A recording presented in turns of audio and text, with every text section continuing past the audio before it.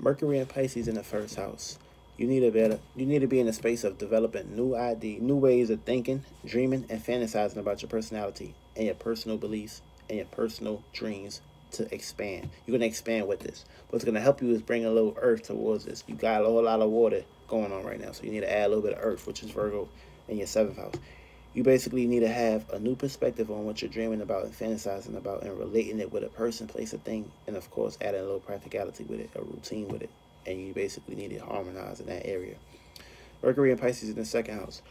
You are going to have opportunities to value and fantasize about your um, resources, your financial endeavors. You might basically be on the verge of thinking about a new car or wanting to drive around and shit you basically need to fantasize about that. You're gonna have opportunities about that. So get stubborn and rooted in that area about that, which is the space. And what's gonna help you is basically the eighth house, getting real deeply connected towards this on your mind. Feel me? Add a little deep routine towards your resources, your material, and of course what you're trying to accomplish accomplish on the sides. You might get a brand new car.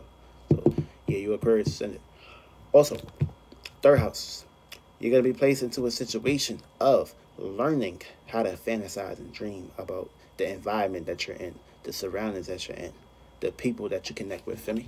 So you need to have the right individuals, the right friends, the right people, places, and things, the right individuals that you can have a um, go to when it comes to your um persona.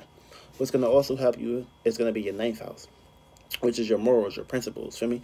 Have use a little bit of faith, belief, and imagination towards whatever you believe in to basically help you grow when it comes to your surroundings, your environment, and your friends and people, places, and things that you're basically trying to equip with and work with.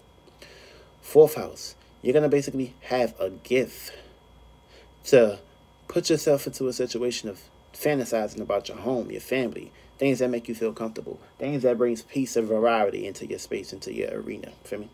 You're going to have a new way of basically coming equipped with that. What's going to basically help you is your 10th house, your, your goals, your business, your career. Broadcast that shit. Make that shit public, make that shit known, and put it out there. And of course, that's going to help you during this transit with this Mercury and Pisces. Mercury and Pisces in the uh, fifth house. You're to be placed into a situation of misunderstandings and deep changes when it comes to fantasizing about your creativity, your talents, your gifts, and your alternative natures. What you basically need to do in this area is you need to fantasize about creativity, a talent, a hobby, something that you're good at. And of course, you need to go ahead and use a little bit of the public, the unknown, people, places, and things that you don't know. These individuals are going to basically bring the support and the help to basically get your fifth house up and running. And that's going to bring the practicality, which is the 11th house. For me, use a little bit of that gift towards out there, and that's going to basically get you flowing and going on a day to day basis.